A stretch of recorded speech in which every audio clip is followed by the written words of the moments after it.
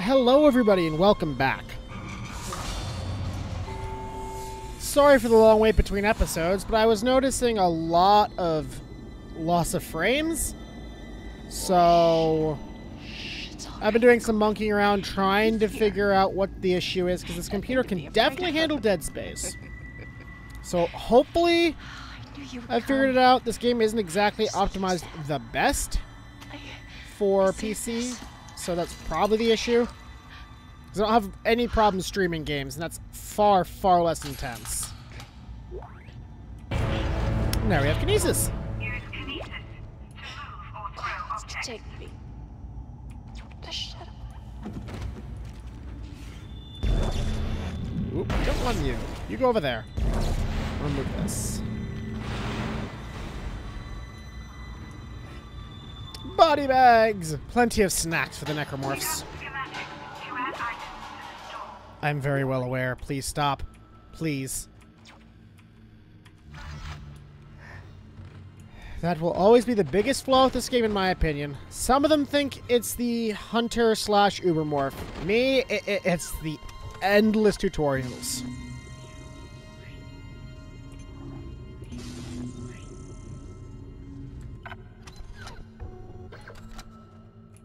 They take so much of chapter 1 and 2 up. And but I can look past it because the game's story is brilliant, the atmosphere is amazing. Isaac, are you there? We were attacked. Kendra's gone. One minute she was there, and I, I can't believe I lost her. We can still do this. Get me the captain's rig codes, and we'll find Nicole. Looks like the crew barricaded the door to the emergency wing. You'll have to blow through it to get to the morgue. Get some thermite from medical storage, and a shock pad from Zero G Therapy. Should be down the corridor. Communication is useless in all this static. Another thing I'm going to be doing is I'm going to stop moving at the instance where we have a mini cutscene like that, unless I'm in the middle of combat. Just because I think that might be a little too much for the game, and it might be having a small panic attack trying to render that along with me moving. I don't remember the name of the character from Extraction, but this is his doing. It's annoying. He's blocked us at every turn, including turning the ADS cannons off. But, this way. Into Chapter 2, Intensive Care. And spitters.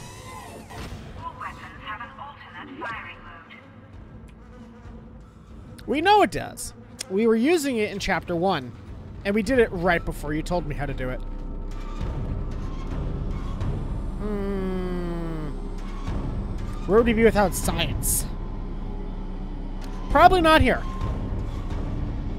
Somewhere better? I can't tell you that for sure, but definitely not with lots and lots of corpses. There we go. Stasis that. Head on through. Right here is where the frame rate got the worst on the last recording attempt of Chapter 2, so... So let's hope it does a little bit better. Alright. Hazardous anomaly detected. So let's hope my aim has gotten a little bit better, because I've had a bit more practice.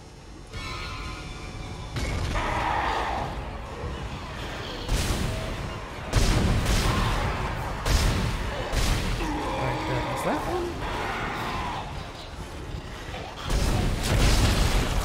That time we dodged the spitter.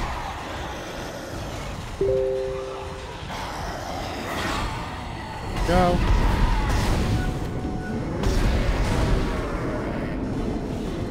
Get some reloading in. There's only about five or six enemies in this room total, so not a terrible battle.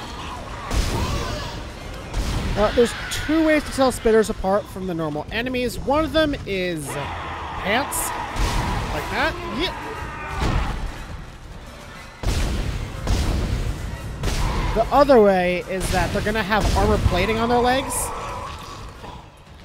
So if you see an enemy with armor plating, it's good to stasis them, take off their head, then go for the arms. The arms also look a bit different. I'll show you them when we get there. Ah, it's hard to describe. The best way to tell is... They look like they've got more striations in the arms, if that makes sense to anybody. A lot more lines in the muscle tissue, a lot more muscle tissue showing. I'll show you one when we get to it. Not too far off. I know there's one in here that looks like that. Normal slasher. We are going to run. This is one. This is another spitter.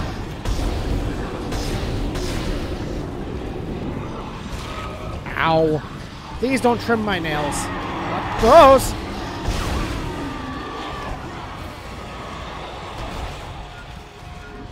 Definitely want to run. We don't want to let these guys gang up on us like that. As I move back a bit, they're gonna. Okay. Okay, that didn't work. I think I went right between his legs and got the guy behind him. Alright. It's done. Fortunately, spitters are a little less sturdy than the rest of the necromorphs. They're not the flimsiest. That goes to the dashers.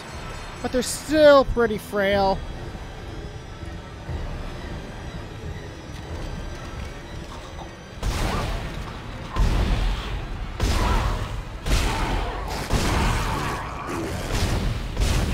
And there we go. Not actually a bad run of that room. That room can be a bit of a pain in the butt. Especially if you don't know what's coming. You can just easily get funneled and they will tear into you if you let them stack up too much. convinced Jurgens to show me the video feed from the colony. And what I saw was glorious. Breathtaking. Miners undergoing a transformation into something extraordinary. I must know more. Even as the believer within me wants to become one of them, the scientist needs to uncover their secrets. I need to study one of these necromorphs, as Kyne so clinically puts it. I need to witness this infection firsthand. Perhaps the patient from the colony. That would be Dr. Challus Mercer. Unlike a lot of the other people on the Ishimura who are dealing with a marker-induced psychosis, his is more of a religious zealotry. And far more dangerous. As we will see in more detail in chapter 5. What in God's name is going on down there? 5 and 10. I think that's precisely the point, Doctor. God's work. I'm not so sure of that. We have to assume that the colony's problems are somehow connected to the marker. You can assume all you want to. I do not. The marker is glorious and divine. You. you know that. God moves in mysterious ways. Anyway, we'll have it on board tomorrow. You can analyze it all you want to. What are you so worried about? Worried? Captain, people are dying down there, killing each other. Is this madness, the transformation unitology teaches us? Doctor. Terrence. There will always be risk when the stakes are high. And here, they're enormous. It could change everything. And that's what worries me. Alright, there we have just another look at Dr. Kyne, only this time talking with the captain, who he supposedly is killed. Interesting. Uh, here we've got a log from Dr. Kyne as well. Uh, I'm gonna just scroll through these, and if you guys want to pause them, go for it. It would just take way too much time in the episodes if I was going to actually read through all these. I don't want this to be a 200 part series. But we're seeing Kyne, a fellow unitologist or marker worshiper. Changes a little bit between this game and the second game. We're going to go a lot more into unitology when we play Dead Space 2. But he's having some lapses of faith. Maybe he's thinking maybe the marker isn't so divine after all. It's causing all these problems. He hasn't completely linked it yet. But he's starting to he's starting to see the connections. And I think it's an audio log from him, actually. We find out that people were experiencing the psychosis related to the marker before they even found it. Oop. We've got a new enemy coming up.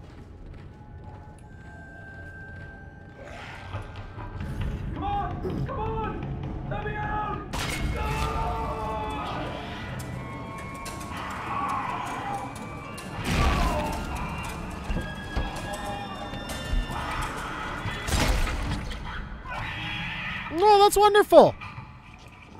Hell of a way to introduce us to, I think that's the Lurker. Um, kind of a twisted enemy as well because being a mining vessel, a lot of injuries here tend to involve missing limbs. They clone people. Part of that cloning process is full juvenile, infancy, everything. So these are babies. Necromorph infected clone babies. I'm gonna have it come around from the corner. This one's gonna just jump us, so we're gonna let that happen. Just because we can take it off really quickly, give it a boot, and like most necromorphs though, that can survive a punch to the face, um, the boot will just take them out one shot. So if you're doing pretty good on healing items and you want to conserve a little bit of ammo, it's not the worst idea to just let them jump you. Because their tentacles can be a pain in the butt to hit. Not the worst, but a slight pain.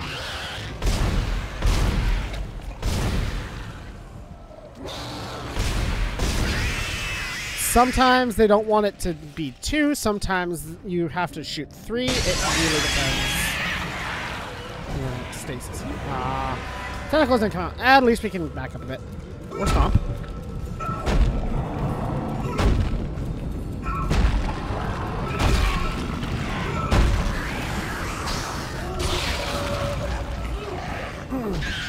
They do just a bit less than a full pip of health, so even on this difficulty, they are not that threatening. Those enemies really get dangerous when you're combining them with other groups of enemies. And they can be a bit of a pain in the butt just to find them in a zero-G environment, because they like to move around a lot. But not that bad. We've got a power node and thermite.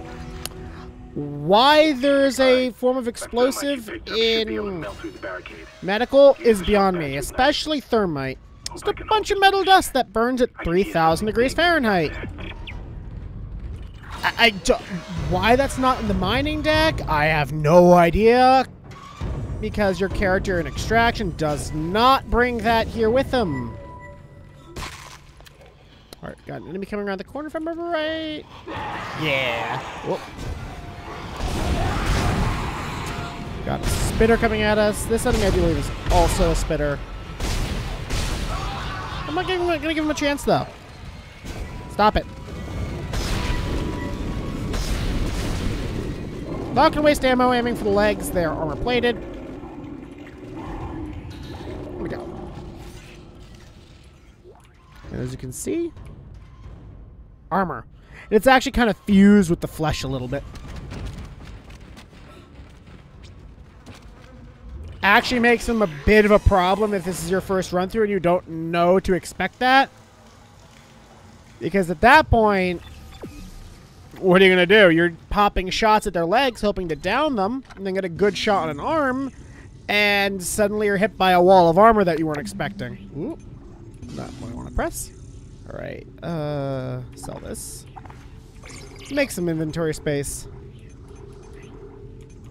Definitely make some inventory space. We have a lot of ammo that we don't need. We will save that for later, though.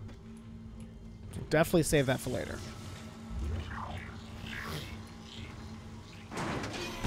Got a few more tutorials. I don't think there's any tutorials left after Chapter 2. Hmm. Oh! But, buddy. Come, come on. I know it's difficult, but that's no need to hit your head against the wall. Just think through it. Oh. Oh, no. You know, I can respect that decision, then. In all honesty, I don't know how he made it there with injuries like that. Leaper! It's not going to come at us until we actually move that, so... Get some more resources for later, because later parts of this game on the hard difficulties can be a bit of a pain. Plus, we might find some stuff. Some meat goodies. Like a large health kit. Yes, please. Is it safe? Yes, I hope. I think.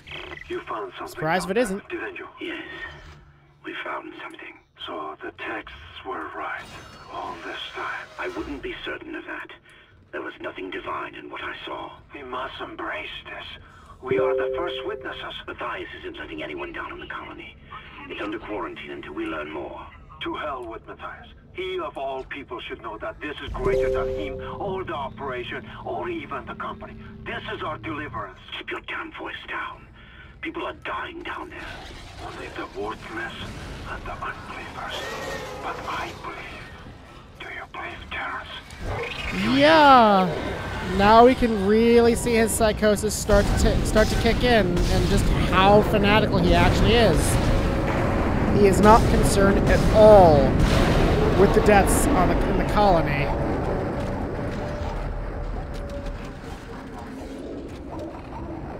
If anything, he's blaming the people who died uh, for being basically not unitologists as the reason they're being killed. As if necromorphs and the marker kill indiscriminate kill discriminately, which they don't. Bodies are bodies. Alright, we're gonna have someone pop through this vent. Come on. I'm not grabbing that power node yet. You make me grab the schematic? No, it's not gonna spawn until I grab the power node. Okay.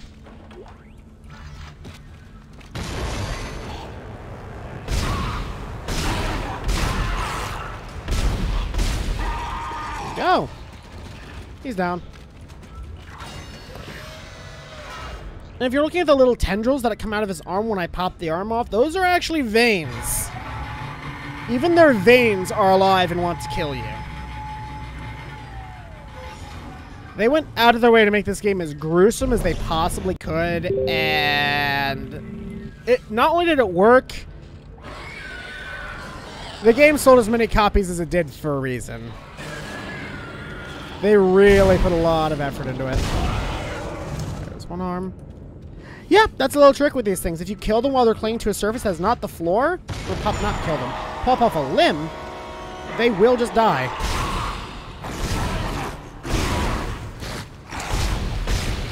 So if you can line up a shot on them while they're clinging to a surface, it's going to save you a bit of ammo, at least two shots. Nothing. Now, as much as I don't want to use a bullet on this, I unfortunately have to. Because that's at a weird angle where I'm not going to be able to hit it with my plasma cutter. Okay. Blood. We'll be going back into that room at some point. It's not now. Now I have to go outside. Space! Disappear when you were in a vacuum. I know I can't breathe. Can you let me walk, please? I would like to walk forward so I don't die of not breathing. Die of not breathing. That is heck of a grammar choice there, Rob. You have plenty of time in this room, and on top of that, I do believe they gave us a air can back there. Normally they do. Normally they always give you an air can right As you know, before a gra Shimura is able to yeah, gravity vacuum. Your grav boost will kick in when you enter a zero G area. Your ammo counter will flash red if you can't jump from that. And here is we've done zero G, we've done vacuum. I can you Thank you. I think this is the last tutorial. Don't quote me on that. There's a lot. There we go. That'd be a little bit further back. Alright, we're gonna have some enemies coming up, so Okay, that's pretty close. We should that placement. Now we're getting to Leaper's favorite territory, and that is zero G.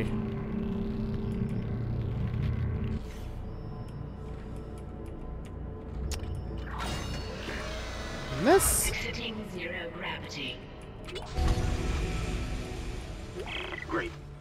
shock pad. Combine that with the thermite at the barricade to destroy it. yes.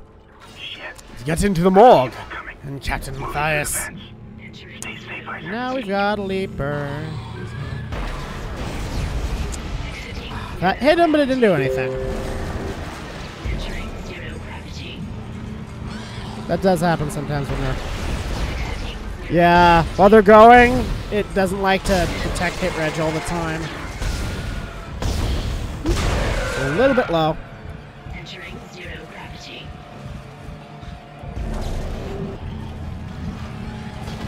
Oh, hi. When they're on land, though, it's a different story.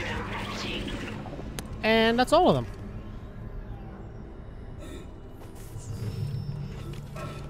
Alright, should be able to get, grab that crate from over here. If not, it's fine. I don't really want to walk back to go get it. Yeah, we got it. As you see, the game likes to keep you with just enough ammo to survive. I don't know if that crate is always the same or if it cycles between ammo and medkits. Right. We were going to have a couple friends out here in the vacuum. Usually I can strafe this one, but I'm not going to make the attempt this time. Just get rid of it.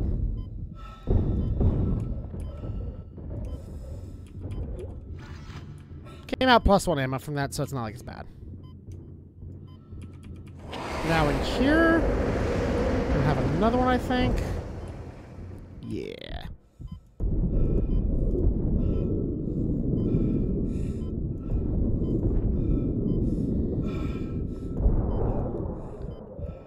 Oh. He's gone. Exiting vacuum. As you can see, even dealing with the enemy, we still had plenty of time. Just so we don't have to deal with anything while we're moving it. Because there are a few enemies down here. A few that you can very easily just mess with.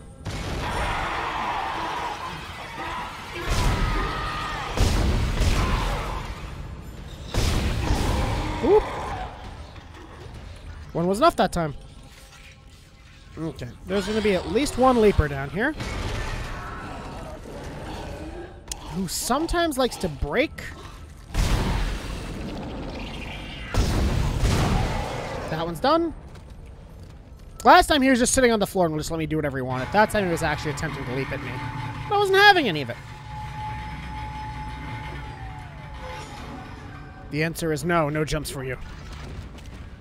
Meet me in the basketball court later on if you want to have some jumps.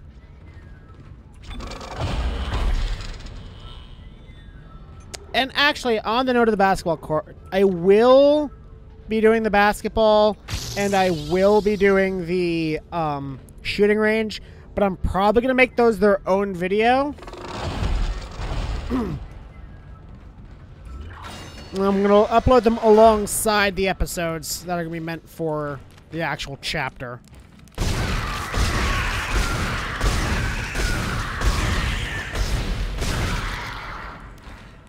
You do not want to let these things gang up on you in a full swarm. If you do, they, you will die.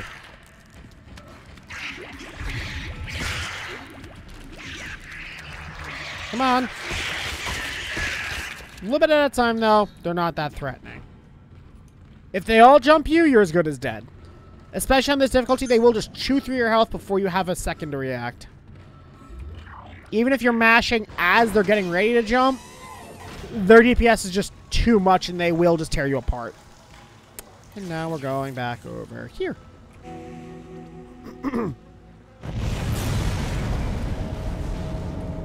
Alright, that's good. We're going to go back to the store before moving forward, though. So you got a schematic to drop off. You got another gold semiconductor we can sell. A lot of loot. And the last thing you want to do in Dead Space, especially the first one, is to run out of slots. So move that. Yep. They gave us an air can. Sell this because we are not going to need that. They're going to give us another one anyway. However, we are going to want some med kits, but we're not going to jump from those. Not just yet. Instead, I think it's about time we pick up the line gun. The line gun is basically this game's equivalent to a shotgun. I think a small should be perfectly fine. just want a little bit. This is medical, so they do like to give you a lot. Weapon has no ammo in its clip. Yes. When it flashes red, no ammo in the clip. But Should be clear hopefully we're not going to get to that point. Remember, the codes are on the captain's body. Here we have another video log. This one's of Nicole. Senior Medical Officer Nicole Brennan transmitting ship-wide. We need more help. We don't have the resources to deal with this many cases. Nobody would tell us what's happening. These wounds, we are not equipped to deal with this. God. Get him to the table. Hold him. Nurse, you hold him down. Christ. And record.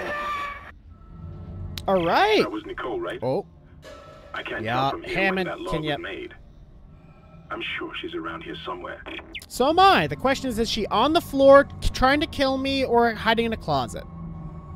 But at that point, guys, I just realized how long this video is running, and I think we're going to cut it here. Sorry it lasted a little bit longer than the others, but at least we got through the majority, if not all, of the tutorials. Moving forward, we're going to be taking on the rest of Chapter 2.